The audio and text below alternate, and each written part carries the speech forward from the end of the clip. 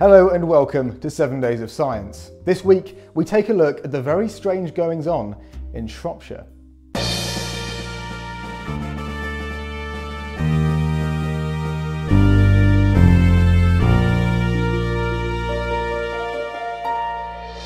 Thank you, Doug. This week has a lot of news, so let's get started. First up, one of Ben's predictions has finally come true, but it's probably the easiest prediction he could possibly have made. A new hadrosaur has been described. It was described from sets of bones discovered in the 1970s from the late Cretaceous Merchantville Formation in New Jersey and Delaware. Also described from the same area is a new Tyrannosaur. Neither have been properly named yet and are just referred to as the Merchantville Hadrosaur and the Merchantville Tyrannosaur. It's thought that the Tyrannosaur could be Dryptosaurus, but more research needs to be done. What makes the specimen so interesting is that they fill a gap in the evolutionary record of the area. They display clear divergent evolution from other hadrosaurs and tyrannosaurs. They represent the stage of speciation caused by the split of Laramidia from Appalachia by the Western Interior Seaway. There are clear but small differences between the newly described fossils and their relatives in the western United States that shows the effect the breakup had.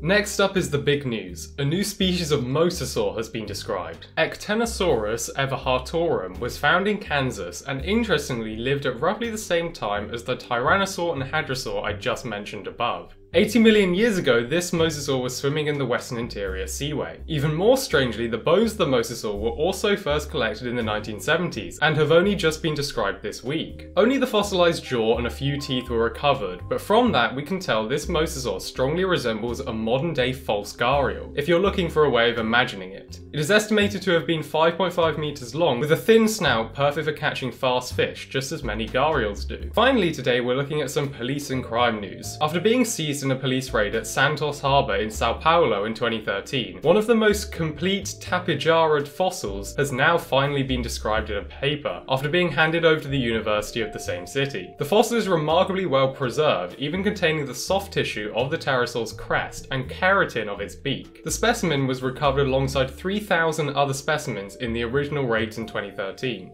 All the papers from today's episode can be found in the description, and I encourage you all to go read them because they can probably explain everything here a lot better than I can. Thank you, Ollie. That's intriguing stuff.